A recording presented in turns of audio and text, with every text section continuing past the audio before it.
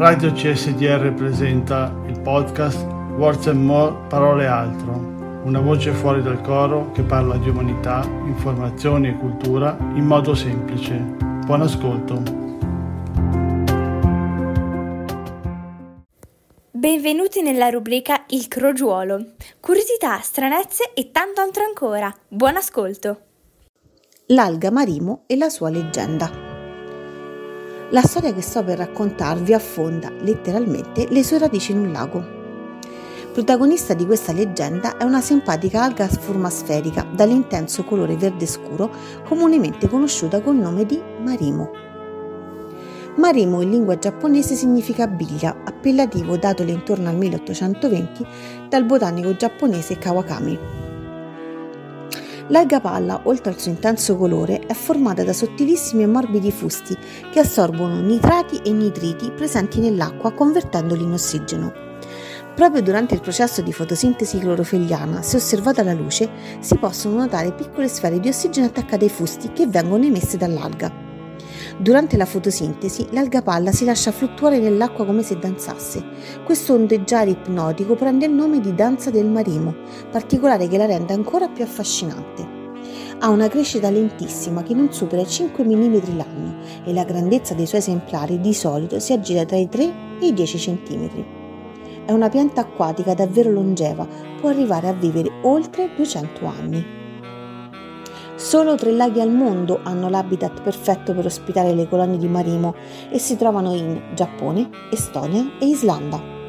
Vive sui fondali temendo la luce diretta del sole e non paventa le temperature fredde. Fu scoperta intorno alla prima metà dell'Ottocento proprio dal botanico che le diede anche il nome, Kawakami, sulle sponde del lago Lakan.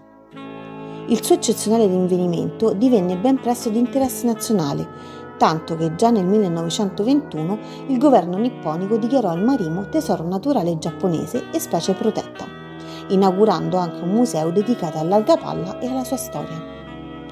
Troppe persone, spinte dalla curiosità e dalla leggenda adesso legata, si riversarono sulle rive del lago per cercare di appropriarsi, anche in modo non legale, di un esemplare di marimo procurando di fatto un grave danno all'ecosistema delle colonie, che vennero colpite duramente anche dalla costruzione di una centrale idroelettrica poco distante dallo specchio d'acqua, sempre nei primi del Novecento.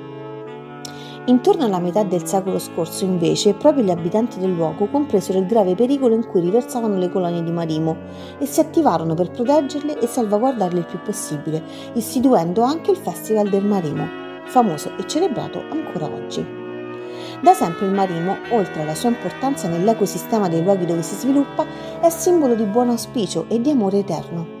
Viene donato solo a chi si vuole bene, infatti, vista la sua secolarità, le famiglie lo tramandano di generazione in generazione, come se fosse un talismano in grado di favorire la longevità e l'abbondanza. È considerato un potente portafortuna e sembrerebbe riuscire a esaurire i desideri di chi lo dona e di chi lo riceve. Sopra ogni cosa, a quest'alga è, la- è legata una leggenda giapponese bellissima e struggente che voglio raccontarvi e inizia così. C'erano una volta due giovani perdutamente innamorati. Le famiglie di entrambi però osteggiavano il loro rapporto. Un giorno la coppia decise di fuggire lontano, ritrovandosi sulle sponde del lago Akan. Sulle rive del lago i due ragazzi si giurarono amore eterno e i loro cuori si trasformarono in due marimo, così da poter vivere uno accanto all'altra per l'eternità. La leggenda dei due innamorati ha permesso a questa pianta di diventare il simbolo di chi si ama. Il marimo infatti viene donato solo a chi si vuole veramente bene perché è emblema di un rapporto profondo e duraturo. Adottare o ricevere in dono un marimo comporta il rispetto di semplici e basilari regole. Come? Mantenerlo sempre in un recipiente rigorosamente di vetro immerso nell'acqua, non esporlo alla luce diretta del sole e ospitarlo in un luogo fresco, cambiare l'acqua ogni due settimane circa, aggiungendo di tanto in tanto dell'acqua frizzante per agevolarne la danza e la fotosintesi clorofilliana. Pulire il contenitore del marimo con attenzione per rimuovere eventuali residui di calcare, rigirare saltuariamente e con delicatezza il contenitore come a simulare il ritmo delle onde. Le semplici e basilari regole per una buona manutenzione del proprio marimo hanno facilitato l'arrivo dell'algapalla in molte case, compresa la mia. Certo è che questa pianta acquatica è entrata nell'immaginario collettivo per molteplici fattori, dalla leggenda a cui è legato alla dolce e ammagliante danza che dona splendore al suo abbraccio con l'acqua e al perenne ricordo di un amore immortale, offrendo un tocco di originalità che cattura e incanta sia chi lo dona che chi lo riceve.